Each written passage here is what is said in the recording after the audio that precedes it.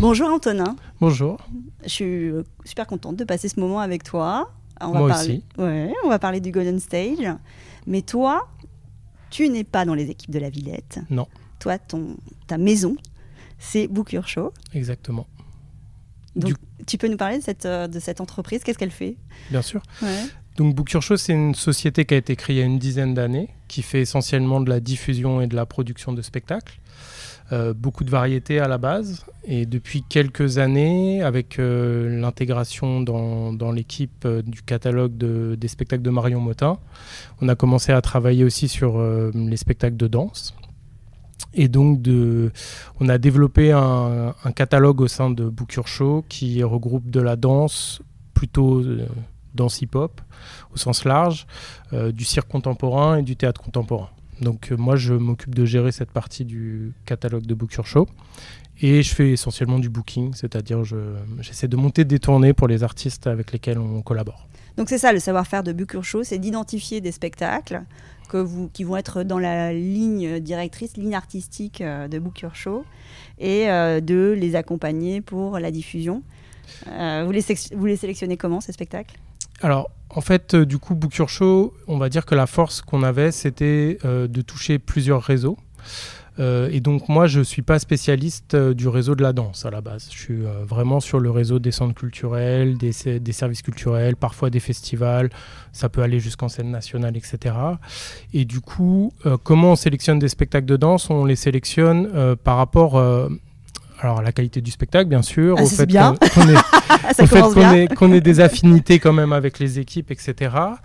Euh, et, aussi essentiellement, euh, il faut que ce soit des spectacles qui euh, vont avoir une vie et dans le réseau qu'on connaît nous. C'est-à-dire que il y a des formats de spectacles que je peux aimer, qu'on peut aimer, on peut aimer les gens, etc. Mais on sait que on va pas être bon pour s'en occuper en diffusion parce que euh, avant tout, notre force, c'est de connaître un réseau de programmateurs et de programmatrices, et que si ce spectacle, euh, quand bien même sa qualité est pas euh, matchera pas avec avec ce réseau-là, ça sert pas à grand chose de s'en occuper, à part à perdre du temps, de l'énergie et à, faire aussi des faux espoirs aux compagnies parce que euh, euh, la responsabilité qu'on a, c'est quand même de leur trouver du travail et des, et des, dates euh, en tournée, ce qui est une responsabilité aussi.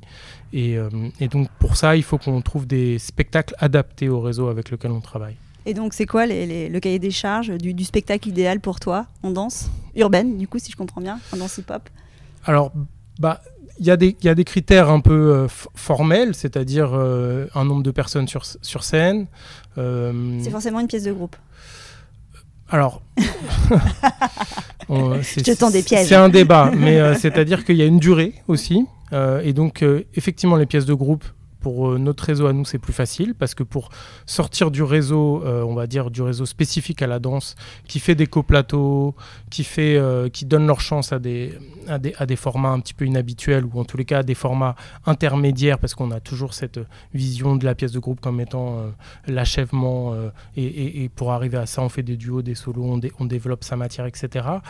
c'est vrai que moi sur mon réseau, on est plutôt sur des gens qui programment assez peu de danse à l'année, qui vont faire 3-4 propositions et donc, du coup, ils prennent pas tellement le risque sur des solos ou des duos. Donc, c'est sûr que la pièce de groupe, c'est plus simple. La pièce qui fait environ une heure, c'est plus simple.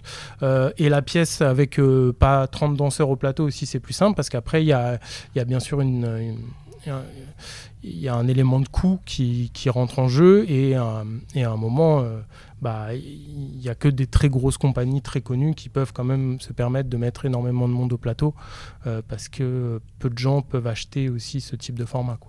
Et donc toi, tu défends la place de la danse au sein de Show.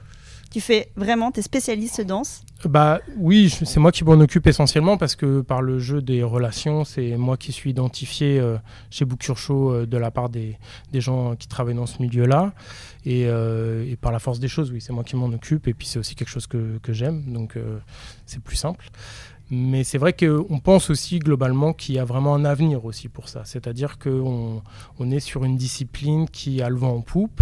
Euh, euh, dans, la société en général, je trouve. Euh, et puis ces danseurs-là ont aussi de plus en plus de visibilité médiatiquement, à travers les publicités, etc. Ils, ont, ils sont très forts sur les réseaux sociaux. Ils ont, ils ont amené tout un, tout un tas de nouvelles euh, composantes et ils maîtrisent ces composantes-là qui font que je pense que c'est de plus en plus simple pour des programmateurs de programmer des spectacles comme ça. Tu sens que les choses évoluent dans le bon sens? Je, Oui, oui, je pense, vraiment. Je Toi, pense... ça fait par exemple combien de temps que tu travailles pour Booker Show Tu disais que Booker Show Ça fait depuis le début. 10 ans donc Ça fait 10 ans, ouais. Ça fait 15 ans que je fais ce métier. Avant, j'étais dans d'autres structures. J'ai fait de la musique, j'ai fait des variétés, etc. Et c'est vrai que je pense que euh, en France, on a la chance d'avoir une génération de chorégraphes qui sont très bien formés, qui proposent des spectacles de qualité et, euh, qui proposent aussi des choses nouvelles. C'est-à-dire que quand euh, nous, sur les spectacles qu'on cherche, qu'on défend, c'est aussi des spectacles qui reprennent des esthétiques comme la house dance ou comme l'électro, qui sont des choses qu'on n'a jamais tellement vues au plateau. Et donc, comme ces chorégraphes-là ont maintenant une qualité euh, une, très bonne qualité de travail. D'écriture. D'écriture, euh, des très bons interprètes. Ils ont vraiment réussi à, fusionner euh, l'esprit de, du freestyle avec le plateau, toutes les exigences du plateau, etc. Du coup, on a des très beaux spectacles. Et en fait, on a des très beaux spectacles où ça danse, où ça danse fort, et où les gens, en fait, reçoivent une énergie. Et je pense que le public a aussi envie de ça. On a, on a une évolution. Euh, je ne pense pas que c'est fini la danse contemporaine, c'est pas du tout ce que je veux dire, mais je pense que on, a on est arrivé à une qualité qui fait que des amateurs de danse contemporaine vont se prendre une claque quand ils vont aller voir ces spectacles-là. Et du coup, pour les programmateurs, et programmatrices, c'est vraiment du gagnant-gagnant parce que ça permet de toucher des nouveaux publics, qui fait vraiment partie de leurs enjeux à, l'heure actuelle, et à la fois leur public, on va dire habituel, euh, euh, va aussi aimer ces spectacles-là, et du coup c'est vraiment euh, une formule qui, qui, à mon sens, est très intéressante. Et donc, si on a les bons spectacles, on peut, par ce biais-là, monter des tournées. Et pourquoi avoir fait le choix des danses urbaines? C'était un créneau à investir C'était un, un champ qui n'était pas encore, tu vois euh, travaillé vous avez identifié euh, cet espace pour vous Je pense que c'est lié à des rencontres aussi, c'est-à-dire que hum, on a rencontré Chloé Lenôtre qui du coup euh, s'occupait de la, du programme Yadu et de la danse urbaine à la Villette, que du coup on a rencontré Marion Motin, qu'on a identifié tout ça, qu'on a commencé à s'y intéresser et que bah, par chance, il s'avère que c'est quelque chose qui bouge en ce moment. Euh, je pense qu'effectivement, c'est plus bouché à l'heure actuelle si on, veut prendre la responsabilité de diffuser des compagnies de danse contemporaine qui tournent depuis 20 ans sans nous. Je veux dire, elles n'ont elles ont pas besoin de ça, elles ont souvent des gens en interne ou elles travaillent avec des maisons de, production et de diffusion qui sont identifiés pour ça. Il y en a en France, il y en a partout dans le monde. Et donc, du coup, c'est vrai qu'il y, y, avait, il y a sans doute une, il y avait une place à prendre aussi sur, euh, sur cette nouvelle génération de chorégraphes qui arrivent à faire des choses qui maintenant doivent tourner, mais qui n'avaient pas forcément les, les, bonnes personnes pour, avec qui travailler là-dessus. Et donc, toi, tu accompagnes le Golden Stage Exactement. avec le Golden tour. Exactement. Et donc, si je comprends bien, c'est né de la rencontre avec Chloé Le Nôtre. Vous avez imaginé le dispositif ensemble? Oui, en fait, ce qui s'est passé, c'est que Chloé Le Nôtre, euh, elle a invité une compagnie japonaise que nous, on avait repérée depuis longtemps, qui s'appelle, euh, avec le euh, la compagnie Yale Squad. Et en fait, elle les a invités une première fois dans le Golden Stage à Paris, qui n'avait pas de tournée encore euh, cette année-là, pour faire une petite version 10-15 minutes. Et face au succès euh, euh, de, de, de, de, la venue de ces Japonais, elle a décidé de les faire revenir dans une forme plus grande. Et sachant qu'on avait épuisé à peu près toutes les aides qu'on pouvait avoir pour financer leur venue, et ils sont quand même 12 à venir du Japon, donc c'est une vraie enveloppe, on avait, on avait épuisé les toutes les aides de la part de la Japan Foundation et tout sur la première fois. Du coup, il fallait trouver une autre solution pour que financièrement ils puissent venir en France. Pas juste pour, enfin, c'était pas rentable de les faire venir juste pour trois dates à Paris. C'était pas envisageable.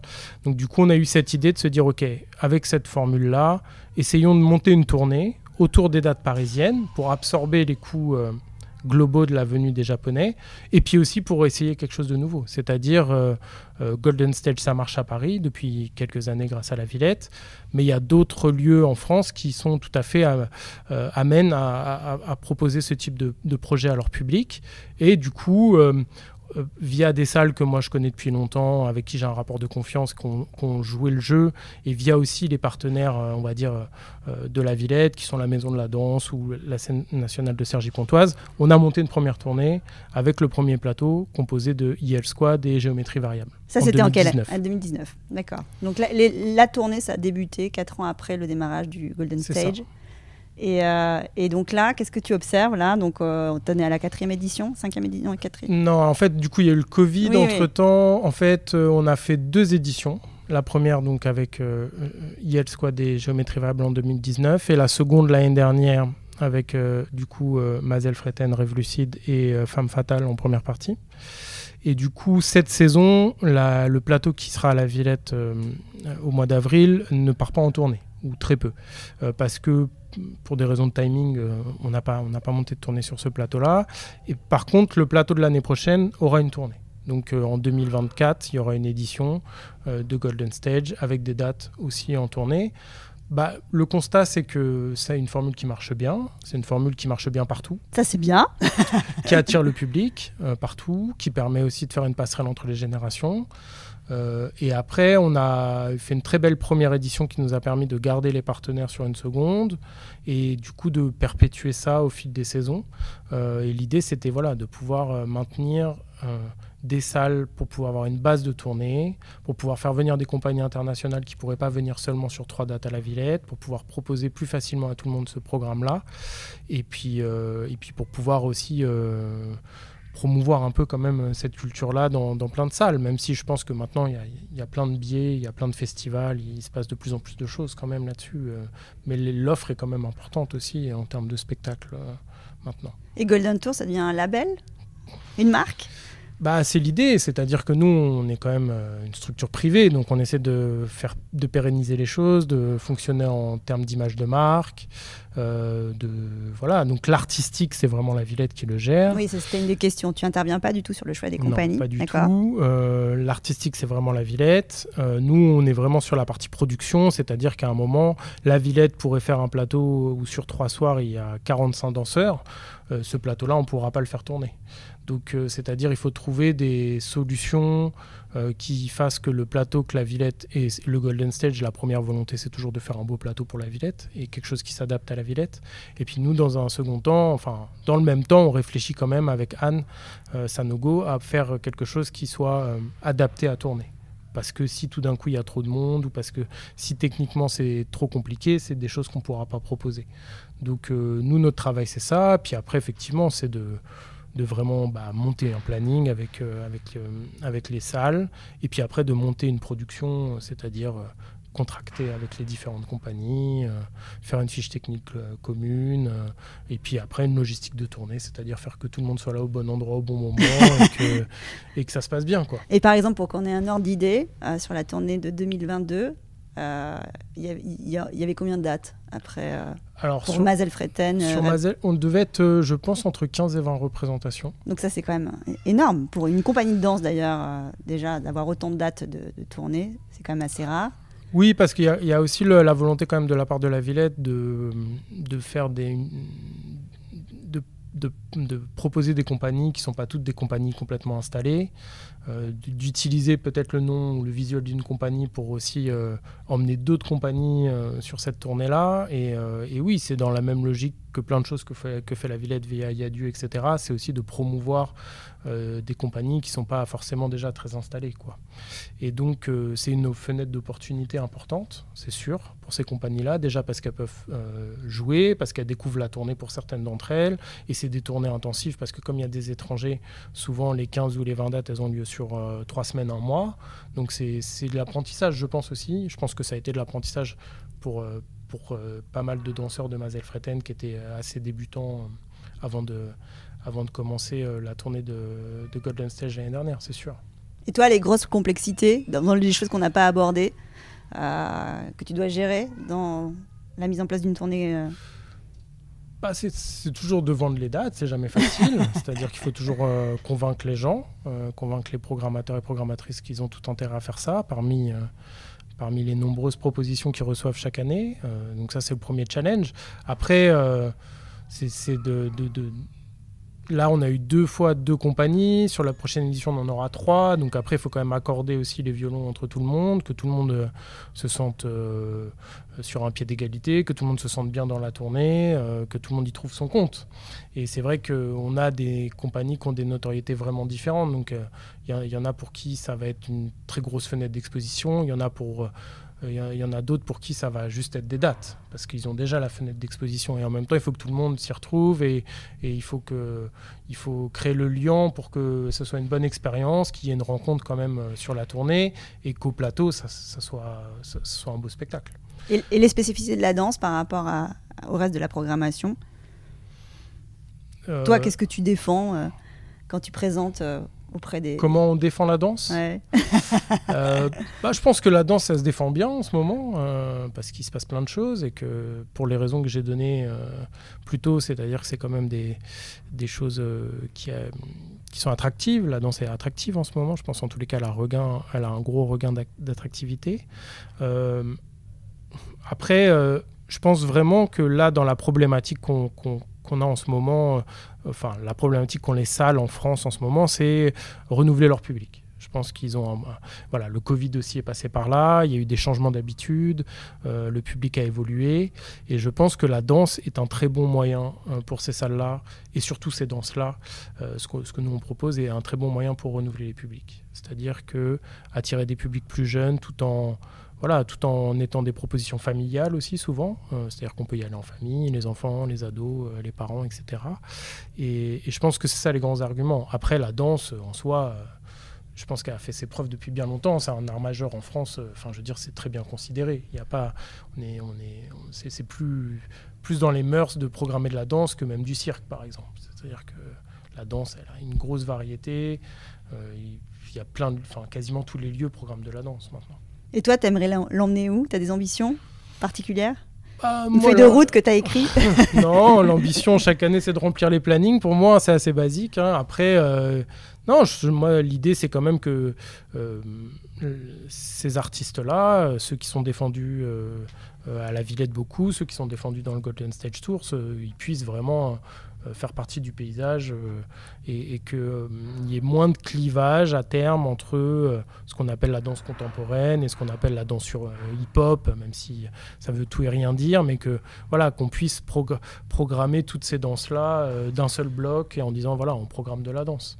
Et je pense que ça évolue et je pense qu'on y arrive et faut que voilà il faut qu'on ait aussi une production de qualité euh, à mettre en face. Et je pense que, que, les gens aient plus de frein à programmer ce genre de choses. Ce serait ça l'idée. Après, euh, après moi, j'ai pas de feuille de route. Euh, je suis pas le grand Manitou de la danse. T'es pas un stratège de la danse chez, Book Show. je suis bah, chez Book Show. C'est des opportunités, c'est des rencontres. C'est quand même comme ça que ça se passe. C'est-à-dire que on sait qu'il faut qu'on ait des, propositions en danse c'est pas moi qui choisis ce que je veux, c'est aussi euh, qui veut travailler avec nous, euh, euh, avec qui on s'entend bien. Et, puis voilà, donc ça, fait, ça crée des historiques avec des compagnies qui sont amenées à créer des nouvelles choses et donc on essaie de les suivre. tant que ça se passe bien, on, essaie de travailler avec les mêmes personnes. Après, on essaie d'ouvrir aussi, de, pouvoir trouver des choses, mais moi je suis très content du catalogue qu'on défend chez Book Show globalement. Et euh, donc on comprend que euh, l'aventure danse est née avec Marion Motin. Euh, il y a d'autres chorégraphes comme ça qui sont importants dans ton catalogue? Bien sûr, bah, nous on a, on a commencé avec Marion Motin sur la pièce In the Middle, et donc c'est une pièce qui a beaucoup tourné. Donc ça, bah, comme c'est un petit milieu, il y a d'autres personnes qui ont qui sont dit bah, qui s'occupe de Marion pour qu'elle tourne autant? Euh, au-delà de la qualité du spectacle, c'était aussi que nous, effectivement, on a, on a un réseau euh, qui sort un petit peu du, réseau euh, de la danse habituel. Et donc, suite à ça, on a moi, je travaille avec le CCNRB, le Centre chorégraphique national de Rennes. Faire. faire, voilà. Je diffuse les spectacles d'Ousmane Sy. Donc voilà, Ousmane Sy était bien sûr une personne importante à mes yeux. avec, on a fait plus de 200 dates de tournée de Queen Blood, qui est vraiment un, super, un superbe spectacle. On continue avec, euh, avec l'héritage avec euh, One Shot. Euh, j'ai travaillé aussi avec Boozy Datman, qui est un autre des, chorégraphes de, de, fer. Enfin voilà, c'est vraiment des gens avec qui j'aime travailler. et puis Mazel Freten plus récemment pour les, pour les Français. Après, moi, je m'occupe au niveau international, on s'occupe d'IL Squad, donc on s'occupe de The Ruggeds, les breakers hollandais. Donc voilà, on n'a pas pléthore de compagnies. Après, je pense qu'il faut, on peut pas être le supermarché de la danse non plus en diffusion. Il faut choisir ses, faire ses choix et défendre ses spectacles. Ça devient compliqué de défendre 12 spectacles en même temps. Enfin, moi, je n'y arrive pas en tous les cas. Donc, on essaie de, au fil des rencontres et voilà, de, de, miser sur des compagnies et de réussir à faire en sorte que qu'il se passe des choses. Quoi. Donc, remplir les salles, Enfin, remplir les plannings. Remplir les plannings, ça, si j'ai bien compris, c'est ta première priorité. Ça. Et après, il faut que les salles se remplissent aussi. Et toi, tu interviens aussi sur ces sujets-là de communication. C'est le lieu. C'est le lieu. Ça, c'est dans, dans, le, dans, le, réseau public avec lequel on travaille euh, sur la danse, c'est les lieux qui sont responsables de remplir leurs salles.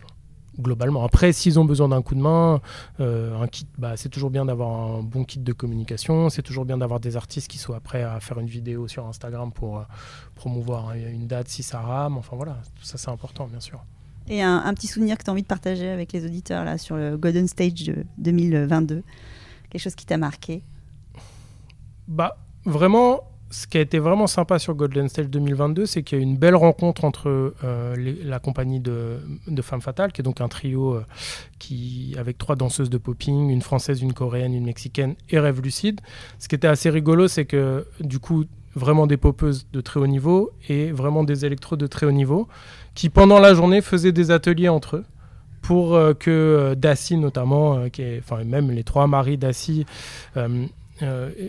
transmettent le savoir sur le popping la journée aux électros et puis que les électros transmettent les, steps d'électro. Génial. Et donc c'est ça que ça crée aussi, c'est-à-dire que comme pendant trois semaines ils ont vécu ensemble sur la route, et ben à un moment ils ont eu le désir de dire voilà on, veut voir, on veut intégrer le popping, on veut intégrer de l'électro. Et du coup, ça faisait des, ils faisaient des cercles euh, l'après-midi euh, sur les plateaux des théâtres une fois que c'était monté. Quoi. Donc ça, c'était vraiment rigolo. Et j'ai pu assister à ça. J'étais très nul. T'étais pas un roi du, euh, du ah, popping du tout, J'étais à côté du, du, truc complet. Mais eux, en tous les cas, ça allait vite. Quoi. Et entre eux, c'est formation accélérée. Quoi. Mais ça, c'était vraiment sympa. Et donc, c'est Golden Stage, c'est aussi c'est ça que permet la tournée. C'est-à-dire ce moment aussi où ça dure plus longtemps que trois jours et où il peut y avoir des choses. Et je pense que maintenant, il, enfin, même si certains devaient se connaître avant, ils restent en contact et ça crée des, amitiés. Quoi. Et 2024, oula, 2024, ça sera bien si quoi?